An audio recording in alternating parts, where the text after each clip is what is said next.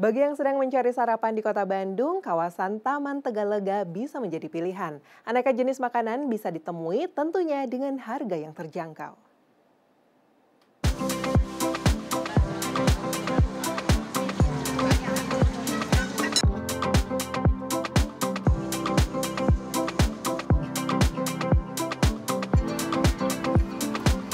Jalan-jalan di taman di pagi hari ini kayaknya udah paling cocok ya untuk mengawali hari. Tapi biasanya setelah jalan-jalan perut keroncongan nih dan lapar. Makanya mendingan sekarang kita cari sarapan yuk di tempat saya berada saat ini yaitu di Taman Tegalega Bandung. Ada apa aja di sini? Ayo kita cari.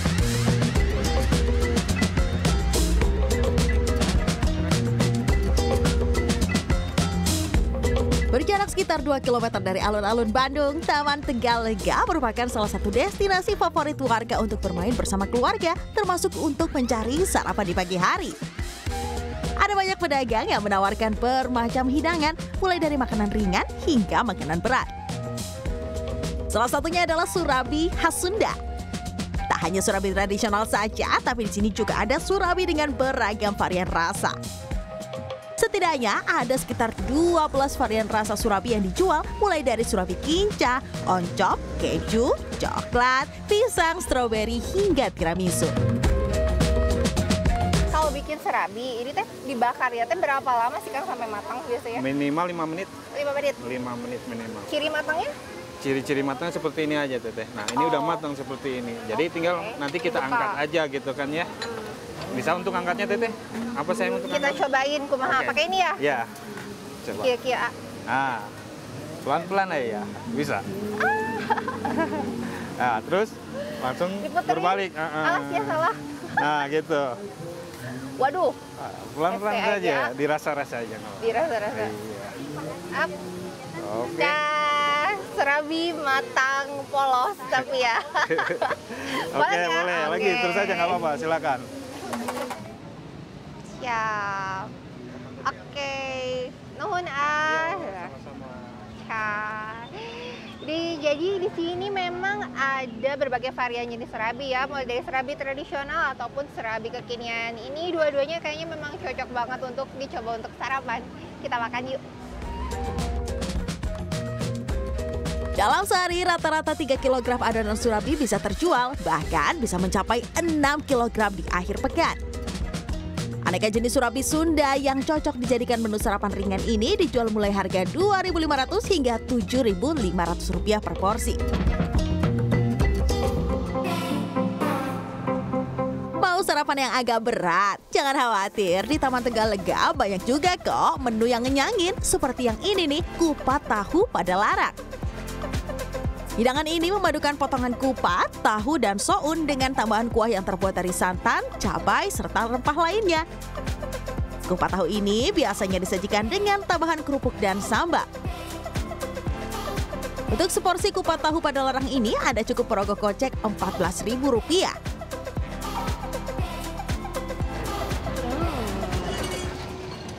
uniknya dari kupat tahu pada larang ini adalah dari si bumbunya yang berwarna merah. Ini agak beda ya jika dibandingkan dengan kupat tahu kupat tahu lainnya. Selain itu juga kalau kupat tahu pada larang ada bahan khusus yang selalu ada yakni soun.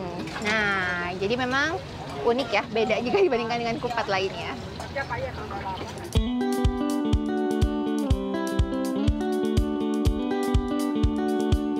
Sajian berikutnya ada kebab shawarma.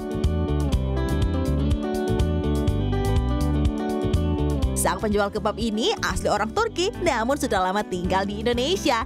Jadi soal resep yang digunakan sudah pasti otentik Turki ya. Pak, ini berarti kalau sehari bisa berapa daging yang disiapin nih?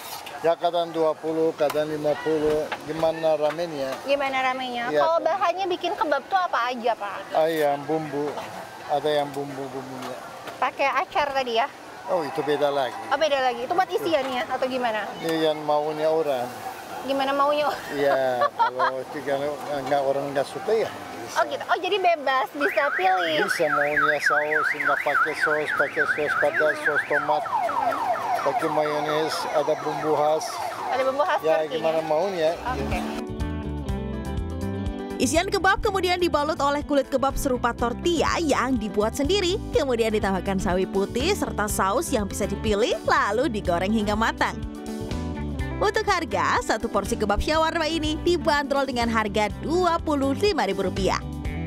Banyaknya variasi makanan membuat Taman Tegalega tak pernah sepi pengunjung. apa ya di sini makanannya lumayan enak-enak, murah, eh, bervariatif. Eh, untuk makanan yang di sini yang enak, yang terkenal kupat tahu Padalarang, mie Aceh, terus eh, bubur tiram ya itu rekomen deh kalau eh, mau ke sini bawa saudara-saudaranya buat sarapan murah tapi enak. banyak pilihan di sini banyak pilihannya Deretan penjual makanan ini bisa Anda temui di berbagai sisi Taman Tegalega, termasuk di area dalam taman yang dibuka setiap akhir pekan.